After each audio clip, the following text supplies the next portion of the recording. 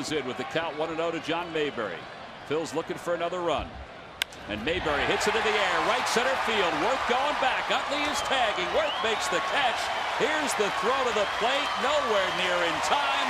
And John Mayberry drives home another run. It's 4-2 Phillies here in the bottom of the eighth inning. Talked about it last night. I'll chase Utley in the uh, get that extra run in the eighth inning. He walked, stole it back there, and then scored a run. He playing almost possessed right now, and that's good. Yeah, and, and